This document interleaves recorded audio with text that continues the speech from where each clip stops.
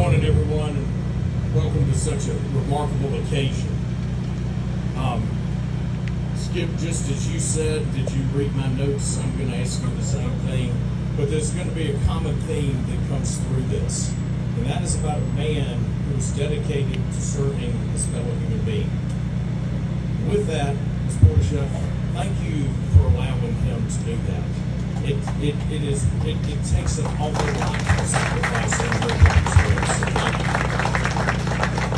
Colonel Poydasheff was a remarkable man in the sense that, as you have heard, he didn't, he didn't just love you, he served you. His time in the Army, his time leading a city, and his time after that being an advocate for the men and women that have defended this country. Our men and women, quite candidly, that, that are willing to put their lives on the line every single day, deserve the best health care anywhere in the world. And in order to do that, you have to have a world-class facility. And what we have here behind us is just that, is a world-class facility. And another word of thanks should go out to the men and women that are going to work in this facility, that work every single day to serve the men and women in this community that have worked to keep our nation free.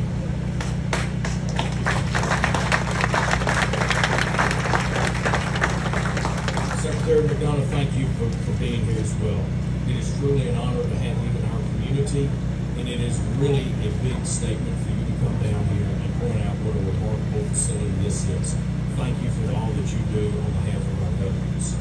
Our men and women that serve many times face unique challenges, unique illnesses, unique injuries that the VA is quite candidly best equipped to deal with. Service members to do that, it takes a tremendous effort not only from the Veterans Administration, but from this community as well, because it is a partnership.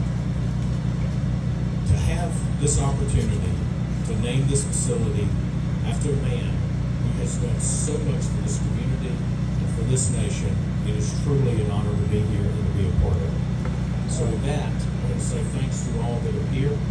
I'd like to point out a special thanks to my colleague, Sanford Bishop. Um, Sanford and I, as you, as you know, are on different sides of the aisle, but we're very united in many things related to our state, to this community, and to the men and women that serve this country.